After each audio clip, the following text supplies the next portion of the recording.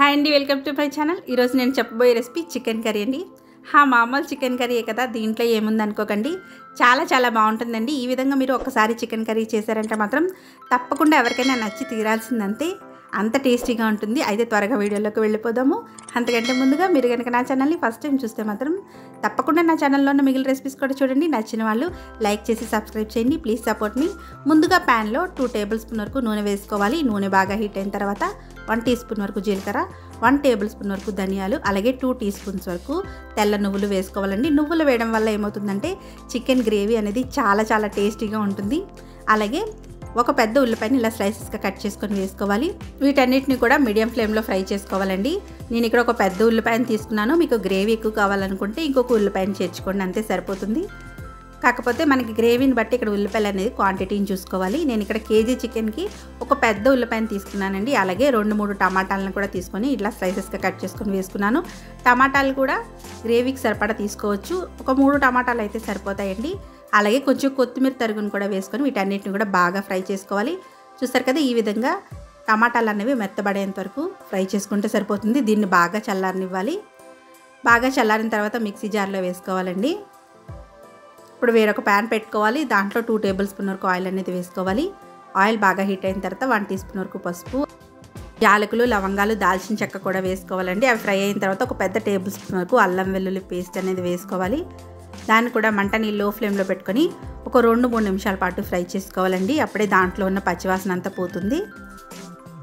ఈ విధంగా ఫ్రై చేసుకున్న తర్వాత ముందుగా కడిగి శుభ్రం చేసి పెట్టుకున్న చికెన్ని వేసుకోవాలి. నేను చికెన్ అనేది ఇక్కడ ఒక కేజీ వరకు తీసుకున్నానండి. ఈ చికెన్ అంతటిని ఇట్లా వేసేసుకున్న తర్వాత మంటని మీడియం టు హై ఫ్లేమ్లో పెట్టుకొని బాగా ఫ్రై చేసుకోవాలి. ఒక నాలుగైదు నిమిషాల పాటు ఫ్రై చేసుకుంటే సరిపోతుందండి. చికెన్ అనేది కలర్ చేంజ్ అవ్వాలి. అప్పటి వరకు ఫ్రై చేసుకోవాలి.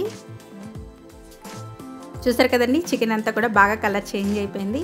ఈ టైంలో మంటని లో ఫ్లేమ్లో పెట్టుకొని మూత పెట్టుకొని ఇంకొక ఐదు నుంచి ఆరు నిమిషాల పాటు లో ఫ్లేమ్లో కుక్ చేసుకోవాలి.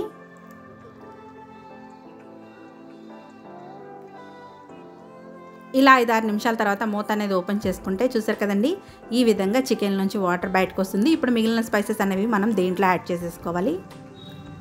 ఇలా ఒకసారి మిక్స్ చేసుకొని ముందుగా ఫ్రై చేసి పెట్టుకున్న ఉల్లిపాయలని టమాటాలని కూడా నేను ఇక్కడ మిక్సీ జార్లో వేసుకొని మెత్తగా పేస్ట్లా చేసుకొని ఇలా ఒక పక్కన పెట్టుకున్నానండి. ఇప్పుడు చికెన్లోకి సరిపడా ఉప్పు కారం అనేవి యాడ్ చేసుకుందాము. మంటని మీడియం టు హై ఫ్లేమ్లో టర్న్ చేసుకొని నేను ఇక్కడ ఉప్పు అనేది యాడ్ చేశానండి. కాకపోతే నేను అప్పుడు కెమెరా ఆన్లో ఉందనుకున్నాను. మీరు చూసుకొని వేసుకోండి. ఆ క్లిప్ మిస్ అయింది నాకు. టూ టీ స్పూన్స్ వరకు ఉప్పు త్రీ టీ స్పూన్స్ వరకు కారం అలాగే వన్ టీ స్పూన్ వరకు చికెన్ మసాలా వేసుకుంటున్నానండి. నేను ఇక్కడ మనం ఏ బ్రాండ్ చికెన్ మసాలా అన్నా కూడా యూజ్ యూజ్ చేయొచ్చు. నేను ఇక్కడ ఈస్టర్న్ చికెన్ మసాలా వేసుకున్నాను. వన్ టీ స్పూన్ వరకు చికెన్ మసాలా ఇలా వేసుకున్న తర్వాత వీటన్నిటిని కూడా ముక్కలకి బాగా పట్టించే విధంగా ఇలా ఫ్రై చేసుకోవాలి. ఇలా ఫ్రై చేసుకున్న తర్వాత ముందుగా గ్రైండ్ చేసి పెట్టుకున్న ఉల్లిపాయ టమాటా పేస్ట్ని కూడా దీంట్లో యాడ్ చేసేసుకోవాలండి. దాన్ని కూడా ఈ ముక్కలకి బాగా పట్టించే విధంగా ఇట్లా మిక్స్ చేసుకోవాలి. ఒక నాలుగు నిమిషాల పాటు మిక్స్ చేసుకుంటే సరిపోతుందండి. కూర అనేది అడుగు పట్టకుండా చూసుకోండి. ఇలా ఈ పేస్ట్ అనేది వేసిన తర్వాత మంటని లో ఫ్లేమ్లో పెట్టుకొని ఇంకొక మూడు నిమిషాల పాటు కుక్ చేసుకుంటే సరిపోతుంది. ఇలా ఒక మూడు నిమిషాల తర్వాత మనకి ఆయిల్ అనేది కనపడుతుందండి.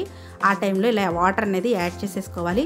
వాటర్ అనేది చికెన్ కొంచెం మనకి కనపడేంతగా అంటే మరీ మునిగేంతగా కాకుండా ఇట్లా కనిపించే విధంగా వేసుకొని పచ్చిమిర్చిని అలాగే కొంచెం కొత్తిమీరని కూడా వేసుకోవాలి. మీకు ఇక్కడ ఉప్పు కారం సరిపోకపోతే మళ్ళీ అడ్జస్ట్ చేసుకోండి. నాకు ఇక్కడ కొంచెం సరిపోలేదు కాబట్టి నేను ఇక్కడ వేసుకున్నాను. మీకు ఇంకా ఘాటుగా స్పైసీగా కర్రీ కావాలనుకుంటే మాత్రం చివరిగా దీంట్లో వన్ టీ స్పూన్ వరకు మిరియాల పొడిని కూడా యాడ్ చేసుకోండి. చాలా చాలా బాగుంటుంది. ఇలా పది పన్నెండు నిమిషాల తర్వాత మూత అనేది ఓపెన్ చేసుకుంటే చికెన్ కర్రీ అనేది రెడీ అయిపోయింది. చూస్తారు కదా ఎంత టేస్టీగా ఉంటుందో అండి ఈ కర్రీ. మీరు కూడా ఒకసారి ఈ విధంగా చికెన్ కర్రీని ఒకసారి చేసి చూడండి. ఎట్లా ఉందో నాకు తప్పకుండా కామెంట్ చేయండి. తప్పకుండా నచ్చి తీరుతుందండి. ఎవరికైనా నచ్చి తీరాల్సిందే. అంత బాగుంటుంది చికెన్ కర్రీ. ఈ చికెన్ కర్రీ రెసిపీ మీకు కూడా నచ్చితే తప్పకుండా లైక్ చేసి నా ఛానల్ని సబ్స్క్రైబ్ చేయండి. మరిన్ని ఇలాంటి రెసిపీస్ కోసం పక్కన ఉన్న బెల్ ఐకాన్ క్లిక్ చేయడం మాత్రం మర్చిపోకండి. Thanks for watching.